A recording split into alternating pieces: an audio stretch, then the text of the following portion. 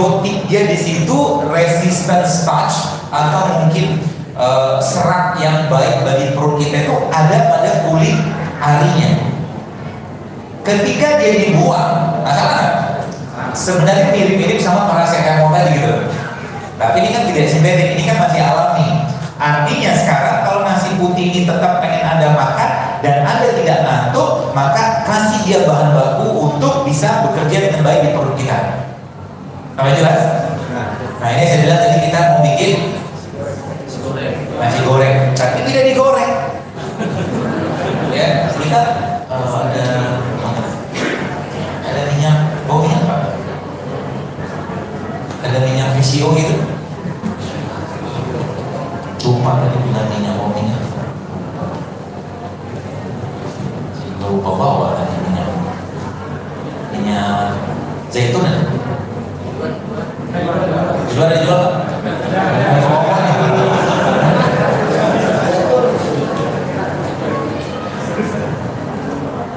Gak. Ya, jadi dong.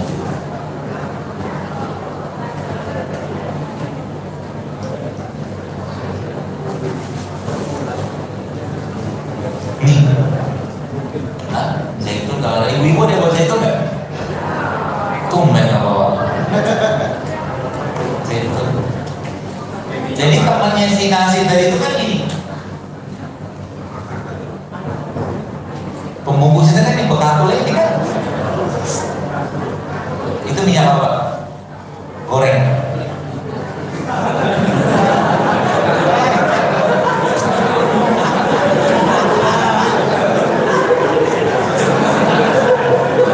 Masih ada.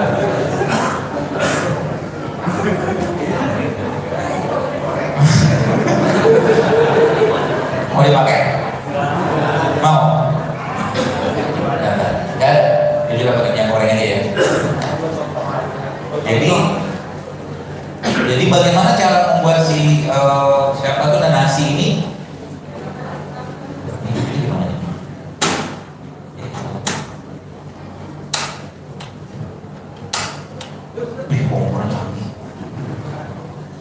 Caranya kan gampang, jadi kasih dia prebiotik.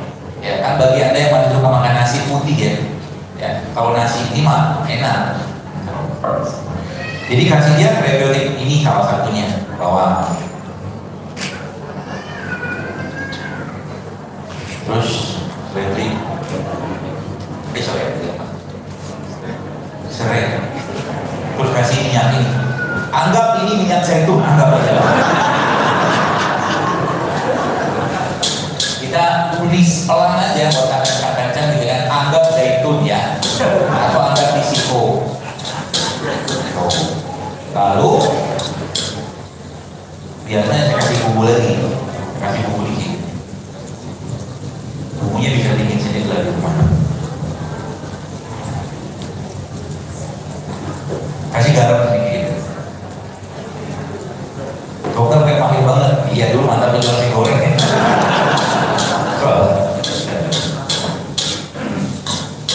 Ya ditumis pelan biar gak rusak ya. Jadi api kecil aja nanti baru kita bisa atur sendiri di rumah ya.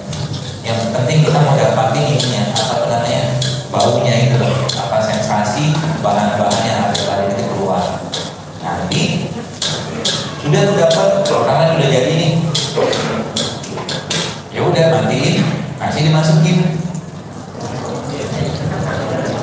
Tapi tidak digoreng lagi, karena udah kita cuma gorengnya doang, bukan goreng tumis lah ya.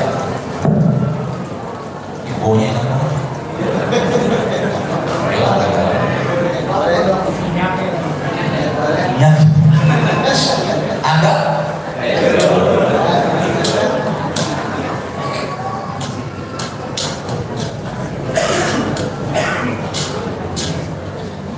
Jadi nanti kalau gorengnya pakai apa tumis itu tadi pakai, jadi ini udah nggak udah nggak diituin ya, udah nggak di kompornya dimatiin.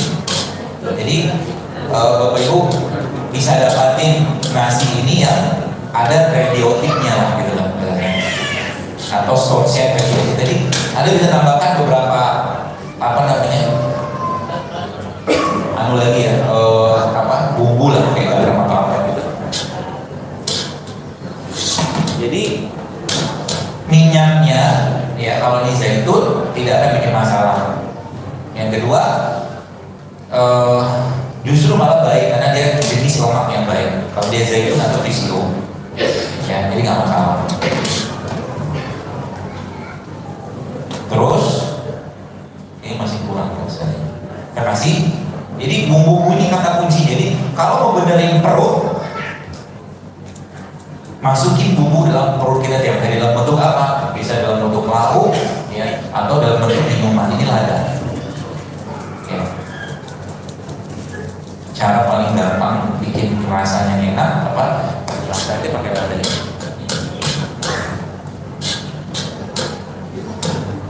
Kasih garam.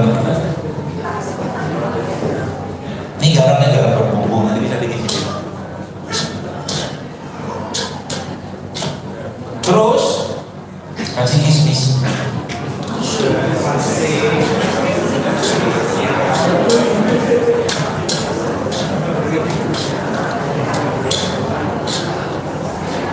Izin dulu ya.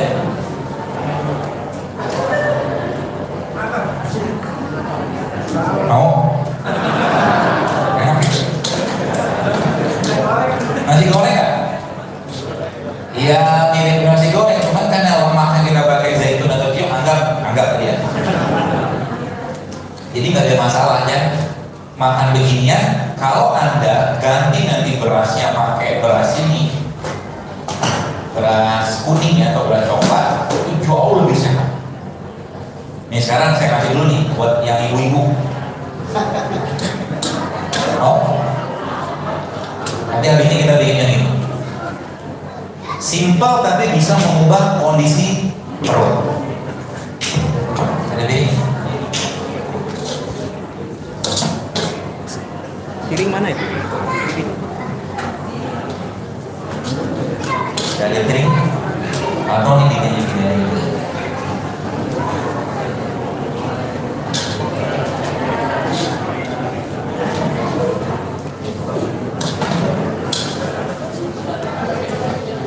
dapat lebih baik lagi maka ini ditambahkan lagi dengan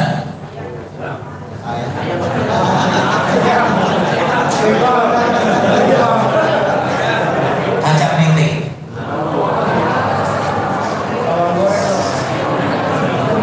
Kalau kan udah tadi.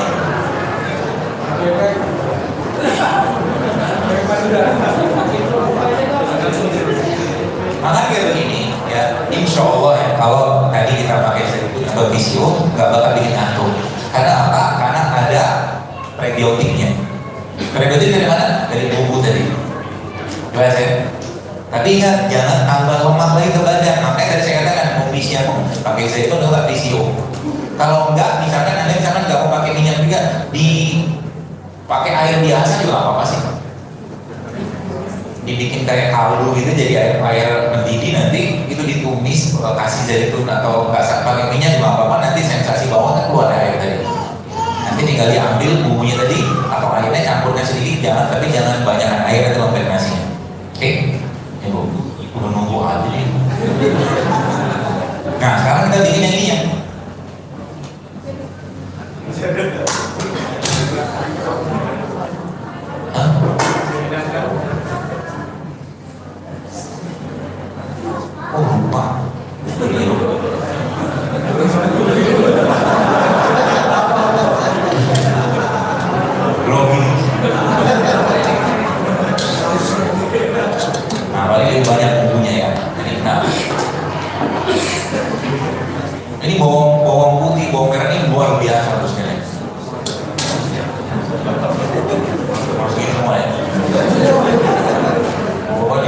Iya?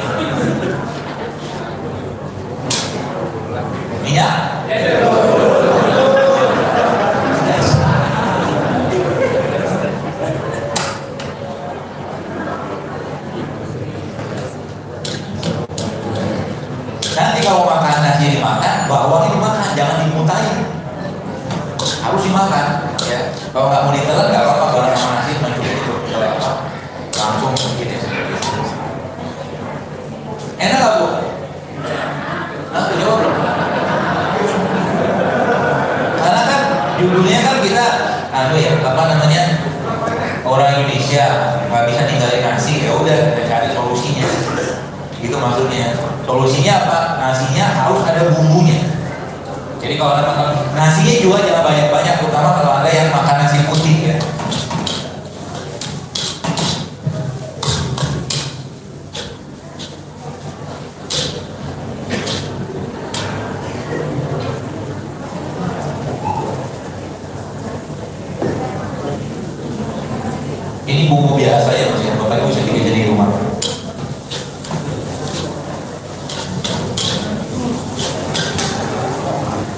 Matiin, baru kita masukin.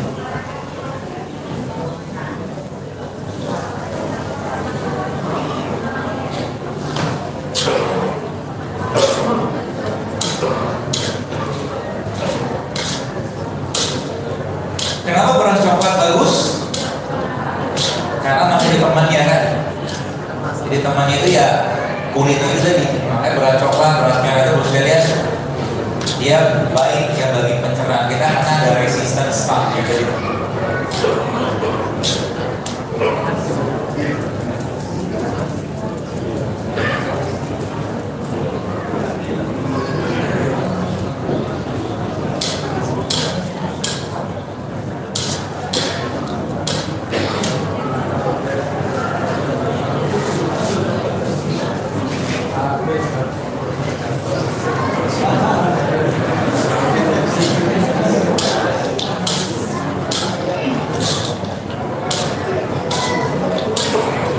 lumayan kan udah yang gratis apa makan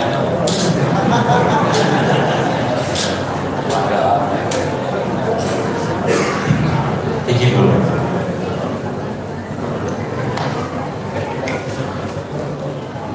Pulang Ada yang tahu?